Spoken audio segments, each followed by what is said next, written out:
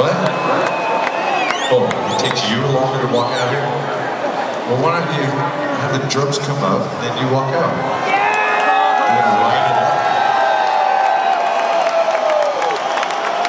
All right. Uh, so this is uh, this is this is our representation of uh, how it used to be in the garage where we'd write all the songs. All right.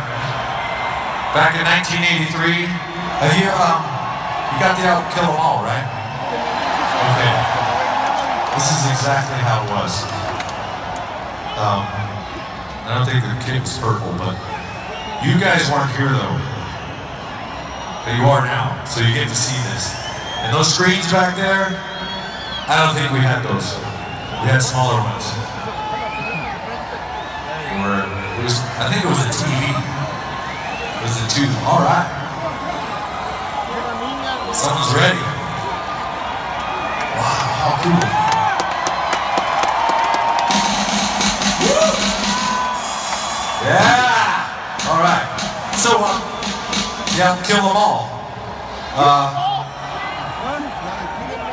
there's a certain uh, a certain line. Everyone's gonna learn it tonight.